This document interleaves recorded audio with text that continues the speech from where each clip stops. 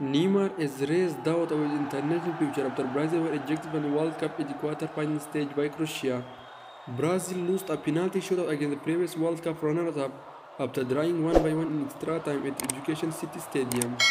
When questioned about his international future after the match, 30-year-old Neymar said he could not guarantee anything about his future involvement with Brazil. Neymar told reporters, Honestly, I do not know.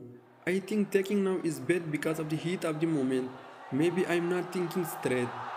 To say that this is in would be rushing myself, but I don't guarantee anything either. Let's see what happens going forward. I want to take this time to think about it, think about what I want for myself. I will not close the door to playing with Brazil, nor do I say 100% that I will come back. After a goalless 90 minutes, Neymar struck Brazil out in extra time only for Bruno Petkovic to equalize for Croatia in the 116 minute. In the penalty shootout, Brazil missed the twist, pass through Rodrygo and then Marquinhos hit the post with a spot kick he had to score to keep the 2019 Copa América champions in contention.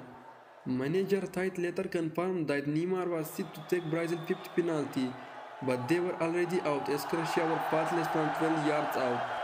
Dani Alves has already confirmed that he has played his last match for the Brazilian national Tite. He was an unused substitute in the quarter-final, making his last appearance as a substitute in the round of 16 win against South Korea. Brazil boss side also confirmed that he will not be taking charge of the national side moving forward after their second straight elimination at the quarter-final stage.